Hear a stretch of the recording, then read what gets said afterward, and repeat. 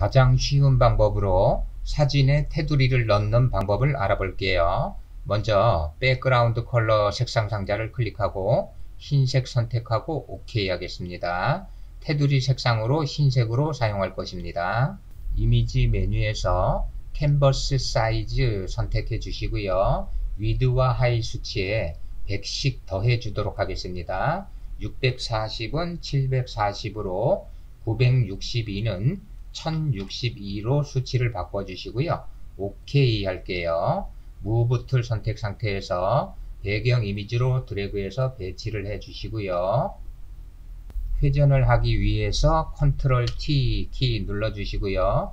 모서리 포인트 바깥쪽에 마우스 포인터를 위치하고 원하는 각도로 드래그해서 회전을 시켜 주시고 엔터 키를 눌러서 확정을 지어 주시면 되겠습니다. 같은 방법으로 다른 이미지도 이미지 메뉴에서 Canvas Size 선택하고 100씩 더해 주겠습니다.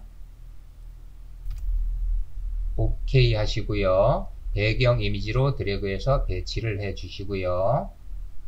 그림자 처리를 하겠습니다. 레이어 패널 하단에서 FX Layer Style 클릭하고 Drop Shadow 선택해 주시고요. Distance와 Spread, Size 슬라이더를 드래그해서 그림자의 폭과 거리 등을 조정하시고 앵글 초침을 드래그해서 그림자의 각도도 설정하신 후 OK 하시면 되겠습니다. 2번 레이어의 Drop Shadow 효과를 복사해서 1번 레이어에 붙여놓도록 할게요. 2번 레이어를 우클릭 하시고요.